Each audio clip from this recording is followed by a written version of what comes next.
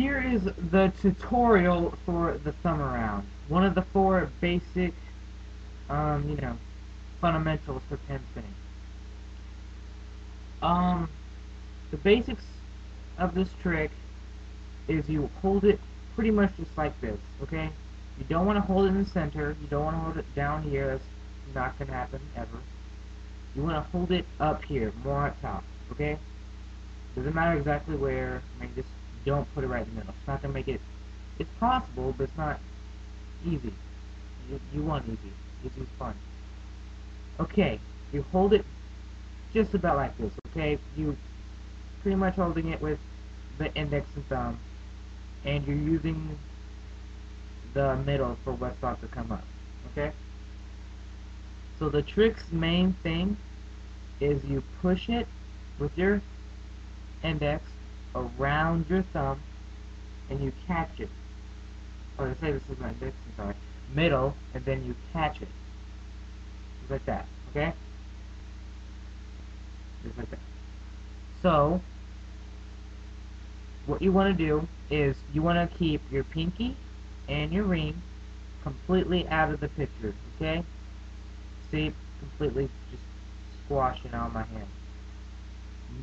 Does nothing in this. Nothing. Okay? You don't want it up. It's just going to interfere. When you push, it's you're gonna get it's gonna take you some time to get used to the push. Push is one of the main things that always trips up people. Don't try super hard, okay? Just do a gentle, nice, forceful push, okay? Don't have your middle finger all the way out here trying to do it, okay? It's just gonna fail. Like, see, that's not a good catch. And don't have it super close.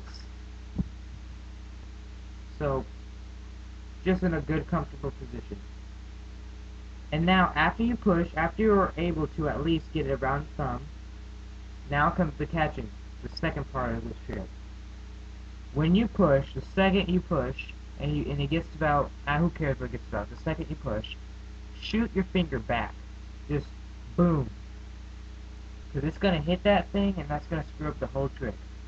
So you want to bring it all the way back, and you want to time this, and catch it. Okay?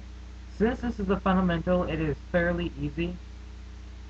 Won't take you that long to get used to it.